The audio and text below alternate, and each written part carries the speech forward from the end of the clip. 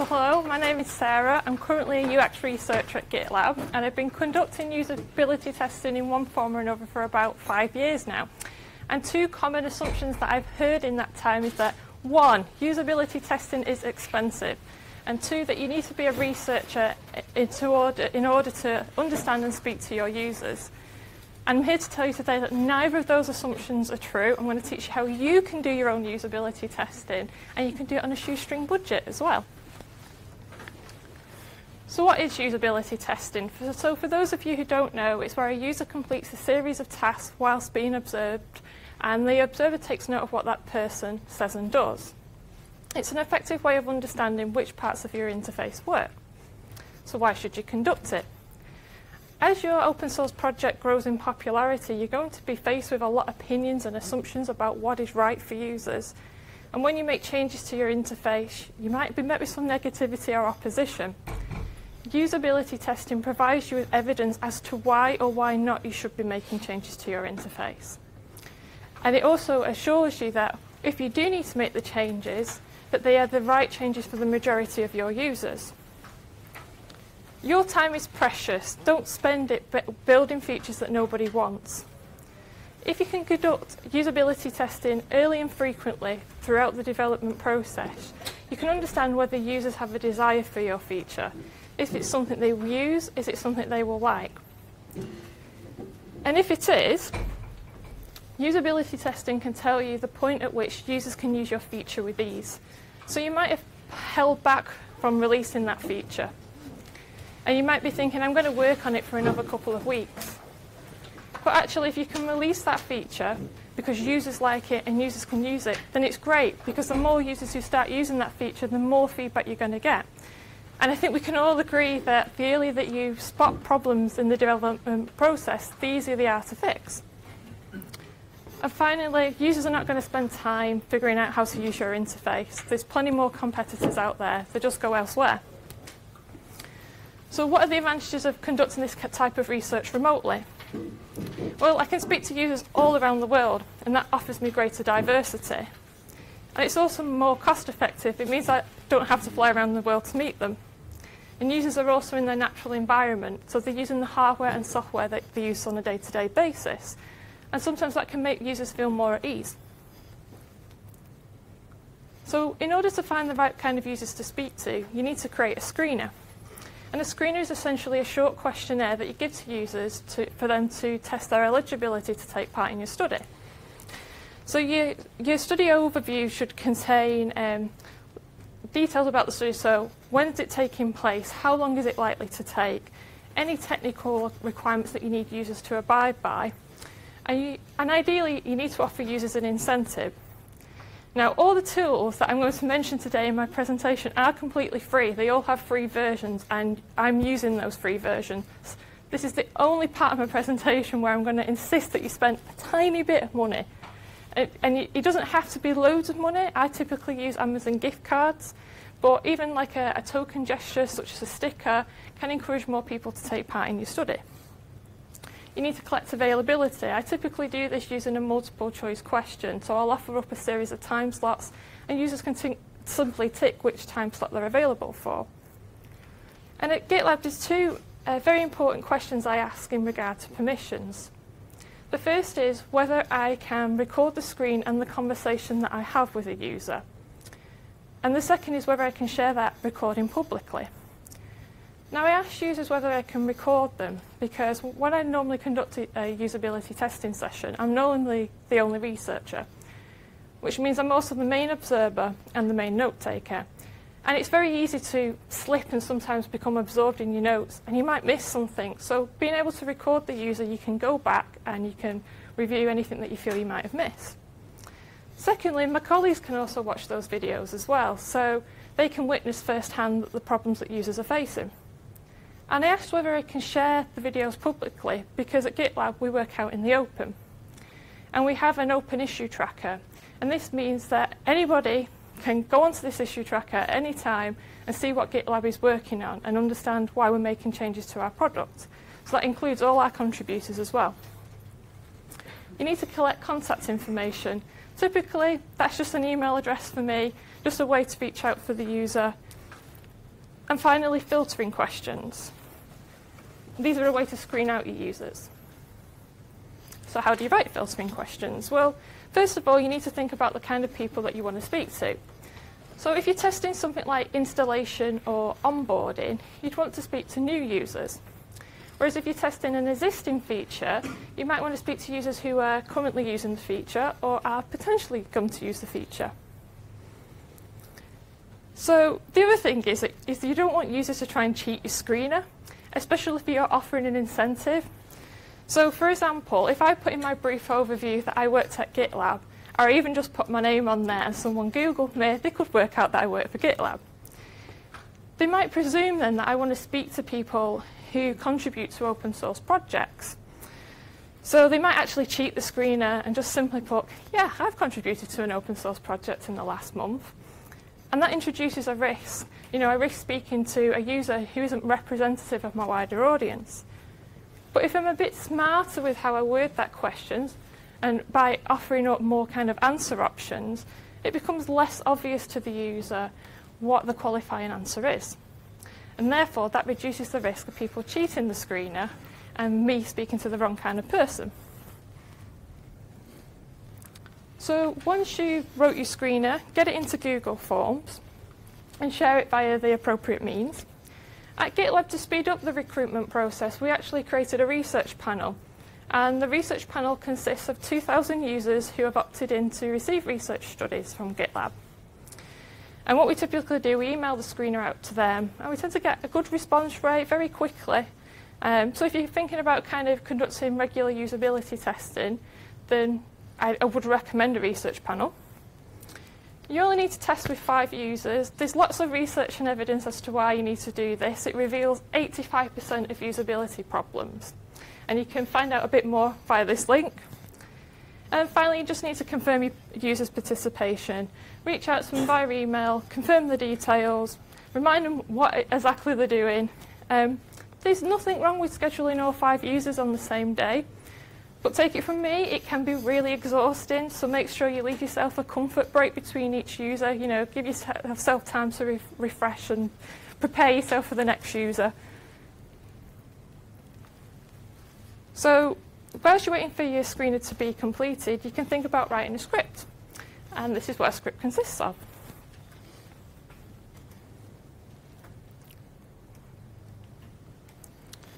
So you need to begin your script with an introduction. And the introduction, the aim of that is to build rapport with users. So when users typically start doing some usability testing, they can be very nervous. So you need to make them feel at ease. So introduce yourself, tell them what they're doing today, and reassure them that you're testing a feature, not them. There's nothing wrong that they can say or do. And as they move through the task, you'd like them to try and think out loud, say what they're looking at, what they're doing, and what they're thinking and assure them that at the end of the day, you're trying to improve the usability of a feature. So you really need to hear their honest feedback. Then move on to your warm-up questions. Never jump straight into your product questions. You want to get users used to talking to you. And the idea with these is, is to, um, when they move on to the task later in the study, you've already kind of built up a conversation with them. They'll feel a lot more at ease. So, so they'll be more honest with their initial reactions. Also, finding out a little bit more about who they are as a person can sometimes give you a bit more context about their initial reactions as well and explain why they respond in a certain way.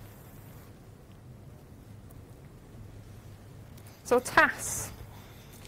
Now, these are where we need to get the users to do something. So we need to give them an action to perform. So let's think about first the features or user goals that we want to test. So let's imagine, just for a second, that we work at Uber and we're testing the feature about to, with users about contacting a driver about a lost item. Now, if you've correctly screened your users, you might already know that they've taken a taxi with Uber within the last week. So you can pull that into your scenario. It's relatable and users will get it, they'll understand it. Notice how we've avoided using words found in Uber's interface. This is because I want to understand how users would naturally look for that information. I want to find out what kind of words they would think about and where they would go.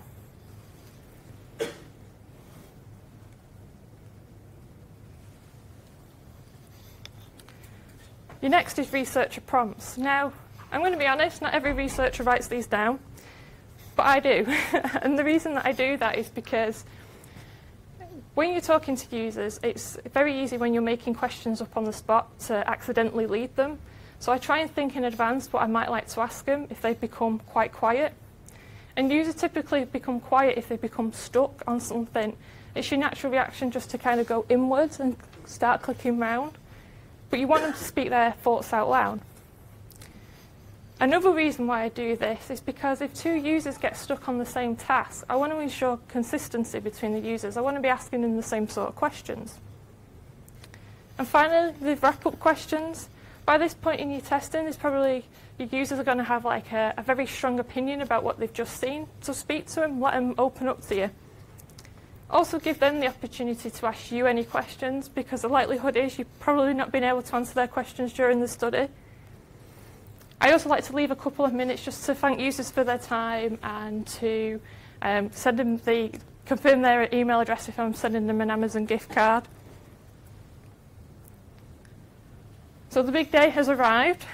Um, these are some tips that I picked up along the way, so I hope they can help you out. Make sure you minimise distractions. So you want to get rid of the 50 tabs that you have open, chuck your phone in another room, turn off your desktop notifications. You don't want any of that. Hide anything you don't want to share on your computer. So during the study, you might want to point out something to the user, something that they've not come across. So rather than having this awkward exchange of move your cursor over there, up a bit, no, you just scroll past what you actually want to do is share your screen. So make sure you hide anything that you don't want users to see. So like maybe your desktop icons or your bookmarks. Do a test run. I typically use Zoom to run my usability testing sessions. I test my mic, my headphones, check that the session's being recorded. I prefer to write out my notes because it's quieter than typing and I find that users are less off put by this. And it also means that if I do have to share my screen at any point during the testing, then I don't have to hide my notes as well. And if you are speaking to four or five users on the same day, they should be doing the majority of the talking, but it's still very thirsty work, so make sure you have a drink of water. When you speak with users, double check permissions. So these are the ones I mentioned earlier about the permissions to record them and to share that recording. I only hit the record button at the point that the user agrees. It's very easy to become defensive when someone's criticising your work. Don't let your body language or facial expressions give that away. Don't let a user know whether you disapprove or approve of their comments. Try not to lead users. So if a user asks you a question and you're not sure how to respond, ask them another question. That's probably the best piece of advice I've ever been given. Um, in that way, you, know, you, don't, you don't lead users. Um, a good question is, so, but what do you think about that? Stay mostly quiet. Um, you usually should be doing the majority of the talking. Um, it's very easy when there's an awkward silence to want to fill that awkward silence. That's the human's natural reaction to do that. But that's also your user's natural reaction, so hold back and, and it'll prompt them to speak into that gap watch the time, make, make, make sure you're mindful of a user's time and keep smiling. Um, it makes users feel at ease. So at this point, you're going to be glad that you asked users whether you could share and, and record the study. You're going to edit those videos. So I ensure that I blur out or dip the audio of anything that gives that user away of who they are as a person. And the reason that I do this is that I'm about to publicly share those videos, and I don't want a, a user to feel like they're being judged when they are being publicly discussed. I upload the videos to a location where they can be watched, which is typically Google Drive, and then I create a meta issue within GitLab. And within that meta issue, I make a link to all the videos, and I also store all the key insights that I've witnessed during the study. So these are anything good or bad that the user has done. if they have experienced a problem and a thought of an idea of how that problem might be resolved, then I'll also stick that in there as well. I then ask my colleagues to go and do the same, and I give them a deadline to do this by. Once I've got everyone's comments back, so that deadline has passed, I consolidate everyone's comments. And I simply do this by only keeping um, the comments that two or more of my colleagues have heard. I then go through that list for a second time. And this time I'm looking for problems that two or more users have experienced. And if only one user has experienced that problem, then they'll be removed from the list. And this is because that user could be an edge case. And we want to design for the majority of our users in mind. You know, everyone's different. And this has three advantages. So the first is that my colleagues have a, and, and I have a shared understanding about what the problems are that users are facing. And we have an idea of how we're going to tackle them. We also have an issue that we can refer to at any point in time to understand why we made the changes that we did. And thirdly, and this is probably the best thing about being a researcher, you can see how far you've come, you can see the progress that you've made. So when you first started testing a feature, it might have been plagued with usability issues, but you've tested and reiterated and gone through that cycle time and time again. And in two, three months' time, you might have a feature that's working perfectly with users, and it's just a great feeling knowing that you've improved the user experience. So thank you very much for listening to me today. Uh, these are the tools that I've used. Um, I'll be happy to take any questions.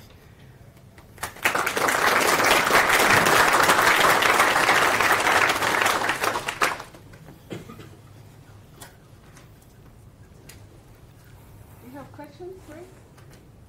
If you, which uh, countries, which, uh, which uh, Chinese or English or which people did you test with already? So which countries do I test with users? Um, all around the world. Okay. if they can speak English, then they get tested with. Okay. Second question, did you see any major differences between the cultures? Because in my testing I don't see it so much. So do you see any, any hands-on figures you could say or?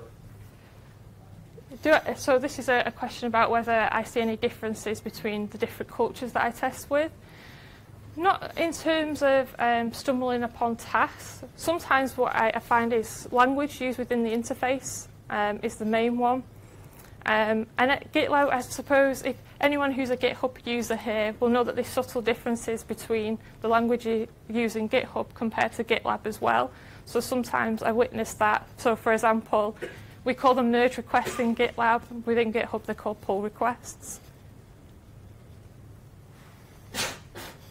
Sure. Thank you.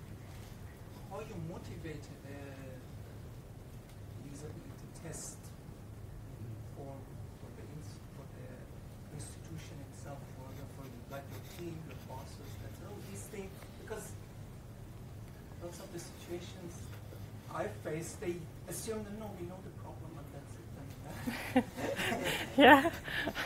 so that's about, uh, the question was about um, how I motivate my colleagues to be involved in kind of UX research. Um, so I, I'm going to be very honest with you. The last couple of jobs that I've had, I've been the only UX researcher and I've typically been the first UX researcher at that company. So it's been very hard slog sometimes to encourage people to get involved. And I think the best thing is, as, as I've said, is like with the analysis, is make sure that your team get involved. One of my team members is actually sat here in the audience, and he, and he will tell you that he will watch those videos and he will witness firsthand, and it gives him a better insight into, you know, designing and, and, and coming up with solutions for those problems. So definitely tr- try and bring them along. The reason why I let my colleagues watch videos at, in their own time and give them kind of a week to do that is GitLab is fully remote. So for time differences and things like that, they can't, my colleagues can't always like be a part of that study because it, it might be in the middle of the night for them. So therefore, being given the opportunity to watch them afterwards, they, they still have a, you know, a, ch- a chance to be involved. Sure. So how much time us- usually does a usability test last before the user starts getting answers that are very short because it's already bored? Let's say bored. Okay, so yeah, uh, so so the question is is how long should a usability testing session last before the user starts getting bored? I think you need to experiment with this. Like most people say between 30 to 60 minutes. I actually find it's about 45 minutes. I test with typically very technical people, so developers, system administrators. And I'll be honest, they kind of get bored, like, like you say. You can tell that they're getting weary towards the end of the session, so it's typically around 40, 45 minutes, my usability testing sessions. and how many features do you test or user case? Um, so how many features I test in a 45 minute session? Typically, um, the lowest number of features I would test would be about three or four, the highest about five or six. Sure. How you deal with different categories of users? So after your usability studies, if you have power users and regular users, how you decide which gets the priority to be implemented at the end? So because you have a single user interface, maybe, and then how you decide not to remove uh, power features or how not to make it too complicated for a regular user. Okay. Okay, so this is um, how do you implement changes from different types of user groups? Okay, so I think it goes back to the thing of you need to know who's, who's using the feature, who, who's your typical audience. And first and foremost at GitLab, that does tend to be developers. However, we are moving to this. Um, our motto is everyone can contribute. So we want to make it easy for uh, non-technical people as well. So we'll typically test with um, technical people first. We'll implement that into the tool, and then we might try with some like non-technical people. And, and we'll typically find that the, the thing that they kind of need the most is more guidance. So for us, and like a project that we're working on at the moment is like onboarding. So we don't have many visual prompts, and the great thing about like kind of doing that that um, user journey is the fact that more technical users could turn off those prompts. So it's not plaguing the interface for them, but at the same time we're still helping non-technical users on their journey.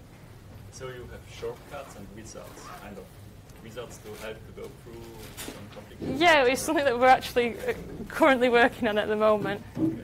So watch this space. sure. So, um, do you have an, a mobile interface? Do you test a mobile interface? Do you have tools for that? Um, we don't typically test on mobile at the moment. Okay. Um, we're, we're concentrating mainly on desktop. However, we, we kind of do check our changes to make sure that they're okay on a mobile. But first and foremost, we're designing for desktop. um, you basically only test existing features, or do you also prototype or do things like A/B testing? And how do you prototype things if you do that? So this is whether we test uh, existing features or whether we kind of prototype new features. We do prototype new features. Uh, we typically use InVision to prototype, um, and then it's normally based on um, the requirements of what a user needs. So, for example, if we find out during testing that a user needs a feature that we haven't got, then we will move move to a prototype first and make sure it works before we even attempt to build it within the greater interface within GitLab. We have questions, uh, time for one question. I can imagine that with uh, remote testing, you, you're relying on, uh, on video conferencing. Yeah. And um, uh, I don't know, I, I typically find that some, there are frequently issues with this, with the microphone and with the video. I mean, you test them, but the other side might have the problems. How do you deal with that? Can you comment on that? So this is how, how I deal with the, the problems that the user faces. Um, well, wi- within Zoom, it has a great feature called like a meeting room feature, so users can actually come on prior to the call with me and check that everything is working okay. So that sometimes helps. And, and sometimes you do have to just kind of leave yourself a couple of minutes at the beginning of the call just to make sure users are okay. Um, like I say, stress technical requirements if they need a particular browser or they need to be on a particular OS. Make sure you're stressing that right from the screener through to scheduling the interview with them. Thank you, Sarah.